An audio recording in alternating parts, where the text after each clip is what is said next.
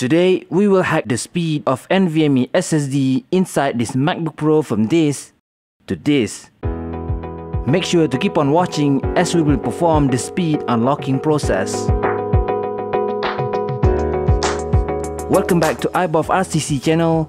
If you haven't watched the first part and the second part of this guide video, you can click here now. This guide is only applicable to the modified A1278 MacBook Pro 13-inch 2012 and also A1286 MacBook Pro 15-inch 2012. This modification connects the NVMe SSD directly to the Ivy Bridge CPU that supports PCIe 3.0, but somehow it was downclocked by Apple UEFI to PCIe 2.0. We will talk more about the Apple UEFI later, and actually, this speed unlocking process should be performed before ending the soldering phase in the first part of the guide video, but we have decided to make this video as a separate guide just to avoid confusion by telling you that normally you will get the speed of PCIe 2.0 first, and then the PCIe 3.0 is only available when we unlock the hidden switch inside the Apple UEFI. This is the nature of the specific Mac that we want you to understand as we were only able to use PCIe 2.0 back then on 26 July 2020 before we finally discovered this hidden switch a year later on 17 July 2021 only after extensive and countless hours of research.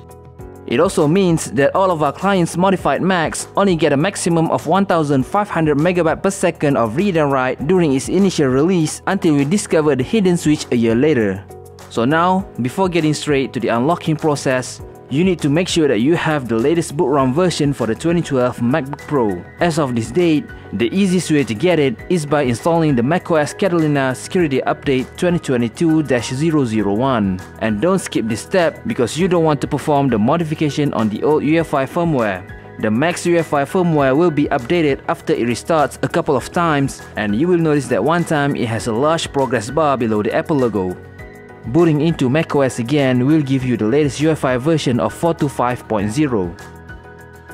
After updating to the latest UEFI version, let's get back to the soldering phase in our first guide video where we finish the soldering phase just after soldering the 3.3V power wires. Now, you need to locate the U6100 chip or people usually call it the BIOS chip or UEFI chip that stores the latest UEFI firmware for the logic board that you updated just now. For the A1278 2012, you can find the chip at the top left corner on the outer side of the main logic board and for the A1286 2012, the BIOS chip is located at the bottom left on the inner side of the main logic board near the PCH.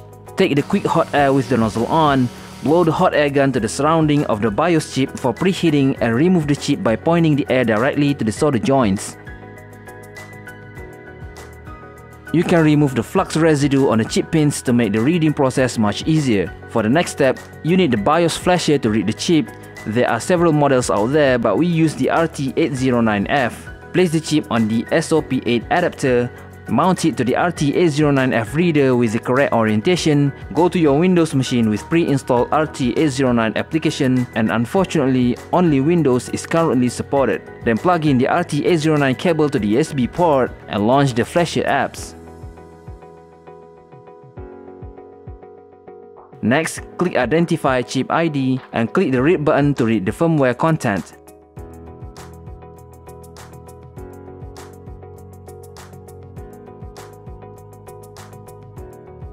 We will save the file as 2012 PCIe 2.0 at the desktop for easier reference. Next, download the UEFI tool. You can search for it on Google or click the GitHub link attached to this video description.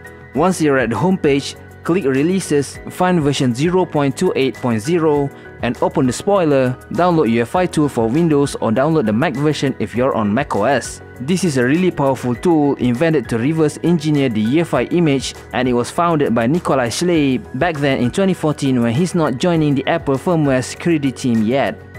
Next, open the downloaded UEFI tool package, extract the contents to the desktop. So you should see the UEFI Tool.exe application here and open it. Click File, Open Image File, select the desktop location and choose the 2012 PCIe 2.0 file. If the file has no issues, then you should see the Intel UEFI image or the Apple UEFI is loaded properly. Press the Ctrl F key on your keyboard to search within the UEFI image, switch to GUID tab and type A7B5 and press enter. By looking at the bottom messages box, you will notice two results found with A7B5 GUID instances. If you click the first result, it will expand the image tree to the first location of the respective GUID and of course, clicking the second result will show the second location of the A7B5 GUID. To cut it short, these two identical files are the hidden switch inside the Apple UEFI and they are responsible for the CPU PCIe speed whether it's going to run on PCIe 3.0 or PCIe 2.0. We will talk more about it later on. Now, we need to replace these A7B5 2C18 GUID sections with a modified PCIe 3.0 GUID file. So now, you need to download the modified PCIe 3.0 GUID file by clicking the link in the video description. It will bring you to the G Drive page and download the file to the desktop. We will also explain more about this modified GUID at the end of this video. After downloading the modified PCIe 3.0 file, go to the first A7B5 parent tree at the top, right-click, choose Replace as is, then it will ask for a replacement file and select the modified PCIe 3.0 file that we downloaded to the desktop just now. You should see it prompts to remove the original file and replace it with the modified file. Go to the second A7B5 parent tree at the bottom, repeat the same steps to replace it with the same modified PCIe 3.0 file. Now you've done replacing both sections, save the file as 2012 PCIe 3.0 and all saved files should have their checksum corrected automatically. Go back to the RT809F application and open the 2012 PCIe 3.0 that we saved just now and click write to reflash the chip with the modified firmware. Once it finishes reflashing, you need to resolder the BIOS chip back to the footprint with the correct orientation. Next, reassemble the whole Mac together with the NVMe, then turn on the computer as usual, make sure the NVMe light is blinking, and boot into the macOS. When you reach the desktop, open About this Mac, System Report, click the NVM Express tab, and you should see the link speed is running at 8GB transfers per second. If you still have 5GB transfers per second, it means you're still running on PCIe 2.0. If you test the speed using the AJA system test, it will reach 2800 MB per second of read and write depending on the NVMe brand and size. That's it. You have successfully activated the hidden switch for the PCIe 3.0. Now, let's have a little bit of analysis on what's going on. If you ever wondered how the NVMe SSD can work pretty well in these models, this is because the NVMe DXE is included in the Intel image after installing the macOS High Sierra or later and this is true for 2012 and 2011 Macs with Thunderbolt 1 chip. Next, if you look at the original A7B5 GUID file, it has two children under the parent tree where the first child is for the A1278 2012 and the second one is for the A1286 2012. If we extract both of the original files and open them with the hex editor, we can see the hex structure inside them. So the left side here is the A1278 GUID file and the right side is for the A1286. These are the Ivy Bridge CPUs that they're using. They look almost the same except one of them is dual core and the other one is quad core. Both of them have 16 PCIe lanes that support PCIe 3.0 and they can be bifurcated into 3 ports. You can watch our past video where we deeply discuss about the MacBook bifurcation mechanism here. So for the A1278, Apple soldered the Thunderbolt 1 chip to the first PCIe port here, while on the A1286, Apple soldered the Nvidia GPU to the same order of the PCIe port, and the Thunderbolt 1 was soldered to the second port here. The rest of the PCIe ports remain unused and not connected to anything. So the way Apple programmed the link speed for these ports were dependent on the location of the Thunderbolt 1 chip. Whichever port is connected to the Thunderbolt 1, then the link speed at that specific port is programmed to be limited to PCIe 2.0. As we can see the hex byte for the A1278 2012 here, it has a value of 02, 00 and 00 while the A1286 2012 has a value of 03, 02, and 00. The first hex byte here is literally the speed for the first PCIe port, the subsequent byte is the speed for the second PCIe port, and the last byte here of course is the speed for the third PCIe port.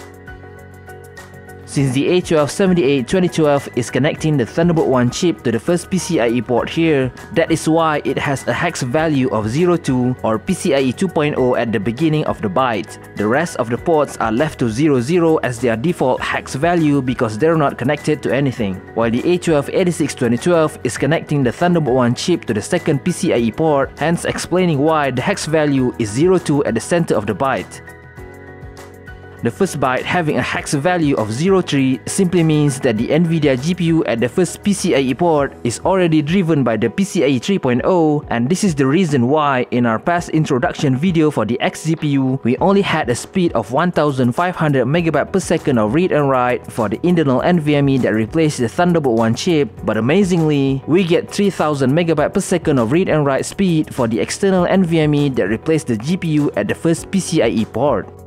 At that specific time the video was released, we are completely clueless about this hidden switch thing. So what we need to do to activate the PCIe 3.0 is we need to replace all these 02 bytes to 03. On the A1278, you need to modify the 02 value on the first byte and replace it with 03. And also for the A1286, you need to modify the 02 value on the center byte to 03. Saving both of these files will get you the modified PCIe 3.0 file that you downloaded just now. One more thing to note is that once Apple releases a new security update together with the EFI update, there is a possibility of the new EFI overriding the modified codes when installing the update, causing the NVMe speed to be downgraded to PCIe 2.0 again.